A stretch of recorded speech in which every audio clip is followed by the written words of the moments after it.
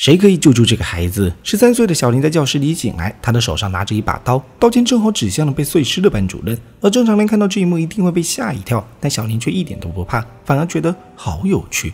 等警察赶来后，小林理所当然被警察当成了最大嫌疑人。但是少年侦探明智却下令放他回去，因为未满十四岁的他也没办法拘留。这件新闻被警察压了下来，所以小林正常上学。可他对上学并不感兴趣，反而满脑子都是班主任死亡的画面。为此，他找到了明智的家中。明智是政府认定的天才少年，可以不用上学，协助警察办理案件。他不关注案件原委，只将案件当做谜题游戏来玩。小林早已对这个世界感到厌倦，平凡的生活让他感到异常的空虚，那位身边的人都是无聊透顶。班主任的死亡只是打开了小林对这个世界的期待罢了。小林深信想要成为他的助手，于是明智给了他一个条件：找出这次的犯人。小林思索犯人的动机是想要自己做替罪羊，而且这个人一定是和他和班主任都认识的。班主任死状像极的艺术展品，他认为现在不需要做任何调查，因为犯人一定会为了展示自己的作品而按耐不住跳出来。果然如他们所预料的，一周后，嘉禾美警察收到匿名举报，他们在班主任的老家仓库里找到大量尸体，其中很多凶器上都沾有小林的指纹。接下，小林是必须被逮捕了，作为杀人犯以及班主任的共犯兼凶手嫌疑人。接着，这证人犯人自己在网上曝光两起案件，连警察都压不住这次的新闻，而曝光的内容就是那已死的班主任竟也是一个变态杀人犯。他家中的那些尸体都被他分解防腐，然后做成了人体椅子。在警察局的小林缓缓讲述了自己在班主任死亡前一晚被约到了教室，但是等他到了的时候，班主任就已经死了，而凶手也将他迷晕，最后完成了栽赃计划。小林因为没有被逮捕而感到惊慌，反而慢慢的梳理了整个案件的细节。这些受害者如此之多，却从未出现关于班主任的任何负面信息，唯一能解释的就是被害者们跟班主任有着超越常人的感情，他们是自愿被班主任杀害，其原因便是这样做就能跟班主任永远在一起。为了找出凶手，小林进去之前拜托好基友雨才去做了一件事。他按照指示将一把手机给藏在讲台上，然后谎称这是班主任的手机。不管真假，这都会加剧真凶的恐慌，而不惜冒险去查探，从而暴露犯人。竟是学生星野，他跟班主任是恋人关系，然班主任却移情别恋到了小林身上，导致他不能被做成椅子，跟班主任永远在一起。所以星野在班主任约小林见面的这一天，他杀害了班主任，并嫁祸给了情敌。星野承认自己憎恨小林。案件解决了，小林如愿以偿成为了明智的助手，他高兴万分，终于感觉到自己是在活着的了。而这个月已经有九名少女失踪了，这是一起连续少女诱拐事件。警察加害们认为是喜欢头戴纸袋的影男在作案，外号变装达人，现世稀少的怪盗，且此人是个萝莉控。明知对这个案件不感兴趣，然而小林却很感兴趣。当他决定私下调查时，影男却找上了门。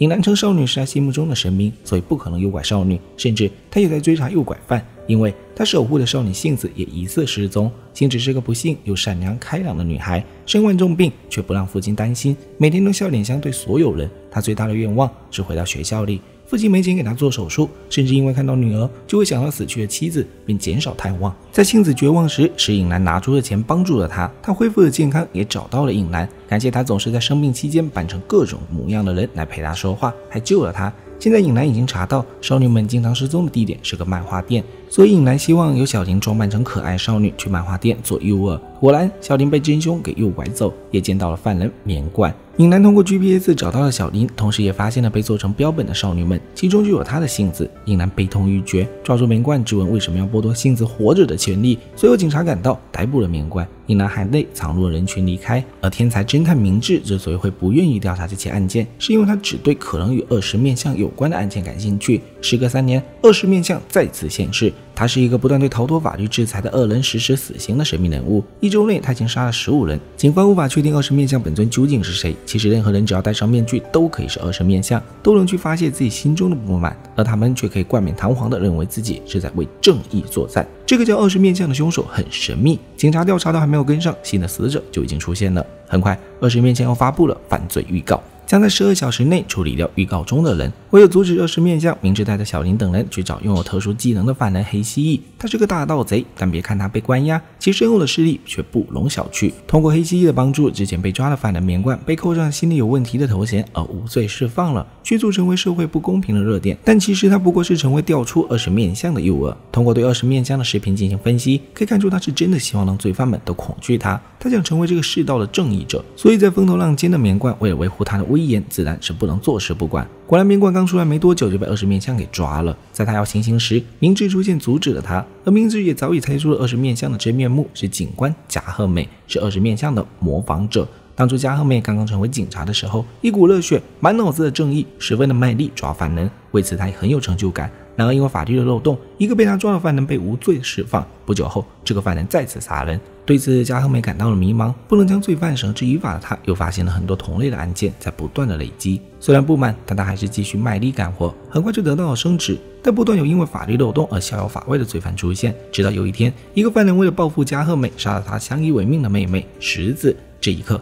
加贺美精神崩溃，他再也不相信法律能够保护好人，于是化身成恶十面相。那个杀死他妹妹的凶手被他以惨无人道的方式折磨着，只为让他活着感受到无尽的痛苦。被抓捕的加贺美不觉得自己有错，还告诉明智，二十面相的信仰不会灭亡，因为抓了一个还会有下一个。果然，当晚幸子的父亲就伪装成二十面相杀死了棉冠。人人都可以是二十面相，但这样做真的是对的吗？继加贺美模仿二十面相之后，又陆续出现了三名新的二十面相了。小林发现，明智总是对二十面相的案件格外的积极，而明智总是对自己的过去闭口不提，这一切都让他很是好奇。这次出现了第四个二十面相预告的杀死对象，在帕诺拉马岛上。这个岛上是孤田集团打造的成人主题公园。孤田集团是一个极限压榨员工、洗脑员工且不断造成员工过劳死和自杀的现代版奴隶制企业。此次的死亡人员正是集团老总孤田和人健，二人均是被压死和窒息死的。到了岛上，明智认真的勘察了现场，他发发现导致人体模型坍塌的原因是螺丝用了劣质的材质，而负责螺丝质检的工作人员千代子就是这次的凶手。原来不久前，千代子的好朋友雪子因为过劳而死亡，千代子很悲痛的希望孤田和人健向雪子的家人道歉，千代子却因此被二人盯上了自己的身体。他们以向雪子的家人赔礼道歉为条件，让千代子签下了出卖身体的协议，所以才有了这满屋子的以千代子身体为模型的人体模型。但是这些模型成为了千代子痛苦的源头，所以才造就了这一场悲剧。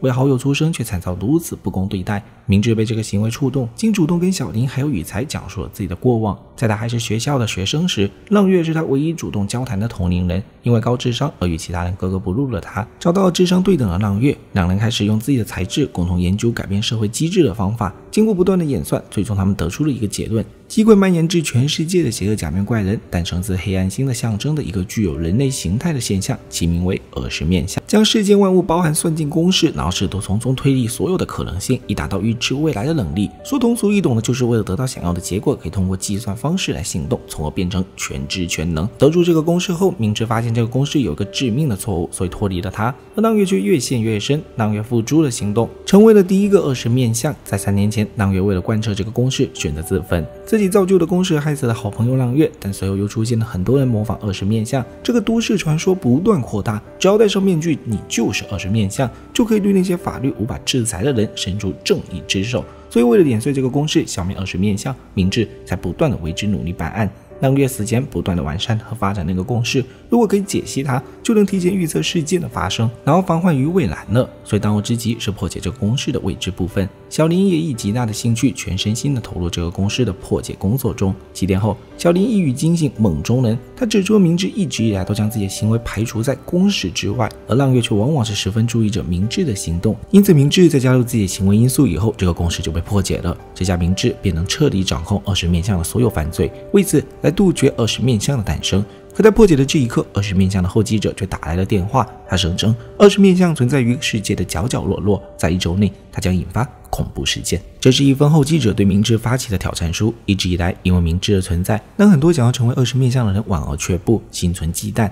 这次后继者的挑战书无疑是想要击溃明智，然后打消大家的疑虑，这样二十面相就会群体崛起，每个人戴上面具就可以制裁不公。例如，大学医院院长名誉教授宗相，在他的晚会上，一个二十面相出现，公然揭露他对脸忧患者的身体非法手术的真相，最终导致对方身体感染而得了绝症。这个二十面相就是该患者之一的姐姐，她本在这场晚会的食物里投入了感染物，但是提前被明智算出，所以更换了食物。虽然他没有得逞，但是真正的二十面相却显示了，他就是本该死去的好友朗月。朗月亮相后就要离开，他暗中绑架了小林，要告诉他以前的事情。朗月小时候因为父母性格扭曲，所以过着痛苦的被虐待生活，在学校也是同样的被校园霸凌。直到后来，明智成为了他唯一的朋友，明智帮他打走了那群坏学生，但是他的境遇反而更加糟糕了。一天，全班人都是同伙，在朗月脸上下了刀子。回到家，他的父母也不送他去医院，就连明智找到家来，父母也不让见。当朗月再次去学校时，却听闻那群人要干掉明智。这一刻，将明智当成自己全部的浪月，决定要改变现在的处境。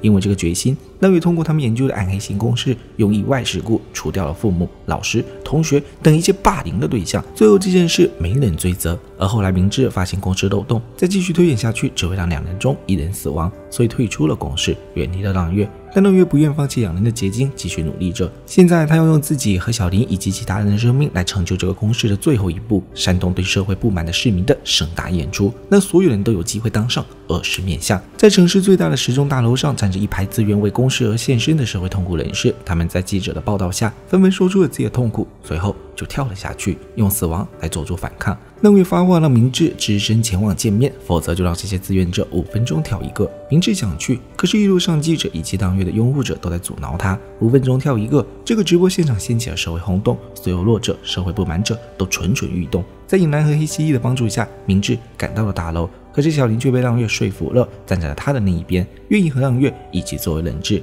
明智最多只能救出其中一个，这就是最后的选择。不管明智最后救了谁，在这记者的报道下，明智都会被社会所有人谴责。浪月和小林同时跳楼了，而明智竟选择抓住了浪月的手。一旁的小林很欣慰，因为这是他能想到的让两人和好的办法。他竟只是想要浪月知晓明智有多在乎他。死亡对他来说一点都不可怕，活着的平凡和生活的无趣才是他最大的不满。所以这次死亡也算是有意义的。可没想到好友雨才竟然冲了出来，拉住了小林。这一刻，对现实感知极度稀薄的小林竟流下了眼泪。原来活着也并不是那么无趣。狼狼月那边却主动放手，他想要完成这个公式，不想让明智讨厌自己。而公式的漏洞必然发生，他们之间注定要死一个。在这之后，浪月追随者依旧络绎不绝。二十面相开始成了一种免罪符，被那些挥舞正义大棒的人们肆意实施制裁。虽然肆意妄为，但却成为了对台面下无数犯罪和暴行的威慑力量。而浪月的尸体也没有找到，疑似还活着，但这并不重要，因为当过二十面相的家伙们已经知道自己的错误了。虽然二十面相是人们心中正义的化身，可大仇得报却又能改变悲惨的发生吗？如果人人都活在仇恨中，一切都会变得虚无。唯有秩序才能遏制住人性的阴暗，并且正义从来就没有个准确定论。就好比善与恶，好人与坏人，无限的复仇只会循环。不是站着说话不腰疼，法网恢恢，疏而不漏。片名乱步奇谈。看完这番后，我印象最深的并不是争议不断的二十面相话题，是小林的一句：“我对这个世界不抱有什么希望，也觉得活着没有什么意思，但现在却觉得稍微有些有趣了。”